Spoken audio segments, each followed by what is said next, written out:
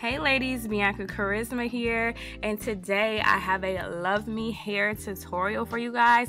This is my second Luvme Hair tutorial for a U-part wig, and this time I'm going to show you how to install it with your hair straightened. So this is the U-part wig. I have the body wave. They sent me these goodies, so I got a comb, I got a wax stick, I got this cute little clip, hair clip, and I have a flat iron, which how do you get a flat iron when you order a wig? Like that's so amazing that these companies, especially Luvme Hair, will send you all these goodies along with your U-part wig to help you with the install. So I think that is great. What I am doing right now is I am just parting my hair. As you can see, I already parted myself a side part and then I just put the U-part wig on top of my head and I am measuring my hair. So I want to have some leave out in the front. So I'm um, measuring the cap to see where my leave out, how much leave out I should have out. And then what I'm doing is taking the end of the comb and I am just kind of um, pretty much combing my hair in the U shape that the wig already is in. So I'm kind of using the wig as a way to outline the U shape in my hair. And the fact that my hair is already straight makes it so much easier for me to, you know, pretty much create a U that is going to, you know, fit alongside with my U part wig.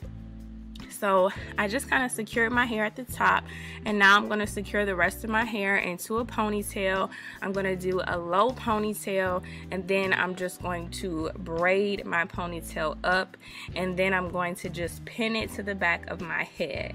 Now since my hair is pretty straight, it's going to lay pretty flat when I apply the U-part wig. So I'm not really afraid of having any lumps or bumps because there is so much hair on the unit and my hair is pretty much just flat flattened with these um, bobby pins that I should be good. So I'm taking the U-part wig. It has clips inside. It also has a clip at the bottom. It's got a strap. It's got a whole lot of things in order for you to keep it nice and secure on your head. Now when you get the U-part wig, you guys, it's going to have like this little um, thing that connects the U so you can cut that right off. I'm just clipping the U-part wig to my head just like you would clip in extensions. And I'm clipping that as close to my hair as possible as close to the U. And you see I'm pulling it. It's not going anywhere. It is nice and secure. I'm clipping the back. It is all good.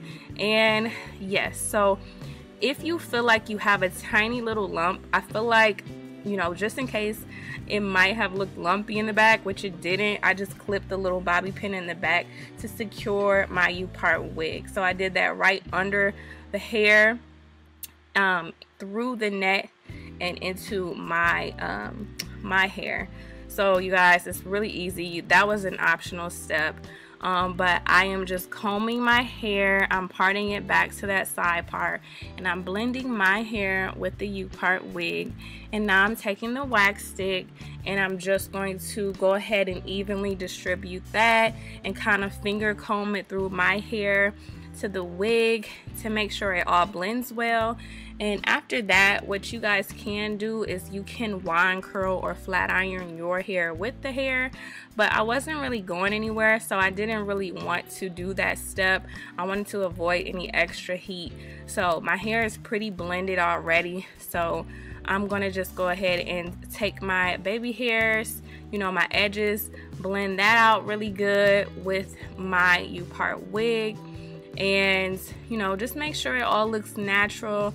Make sure it all looks blended. And I feel like I love the look you guys. Make sure that you check my description box below to see all the details on this hair. Make sure to give me a thumbs up if you like this method and this look.